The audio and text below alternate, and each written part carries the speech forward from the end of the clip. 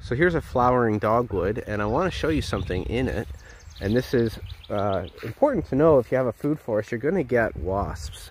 And wasps are actually a great friend in the food forest.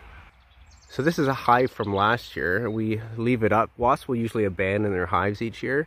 So you can see that this one's not actually occupied. I wanted to check this out. I might crack it open and see what's inside I Just take a cross section of that. But it's really important to leave wasps up. Wasps are a great garden friend. I know that a lot of people hate on wasps, but consider leaving up a wasp nest if it's not in an area that's bothering you. This one here is absolutely not bothering us in this flowering dogwood in the middle of our food forest. So we leave it up and they take care of a lot of pests for us.